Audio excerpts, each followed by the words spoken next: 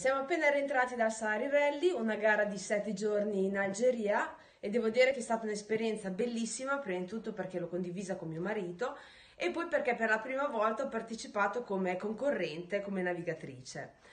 È stato molto bello e sicuramente di molto aiuto eh, esordire al fianco di Paolo che grazie alla sua esperienza mi ha trasmesso i fondamentali della navigazione e soprattutto tantissimo entusiasmo. Devo ammettere che prima di partire la preoccupazione principale è che Paolo non si fidasse eh, di me e che mi chiedesse ogni due minuti eh, di vedere il roadbook. Invece devo dire che fin dal primo giorno, nonostante qualche errorino di navigazione, mi ha voluto dare fiducia e questo mi ha permesso di navigare con molta serenità.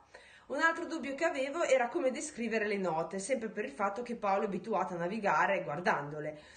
Ma anche qui, fin dal primo giorno, eh, tra risate e prese in giro di Paolo e degli amici che erano con noi e sempre dopo un briefing serale in tenda, devo dire che ogni giorno è migliorato il nostro feeling comunicativo.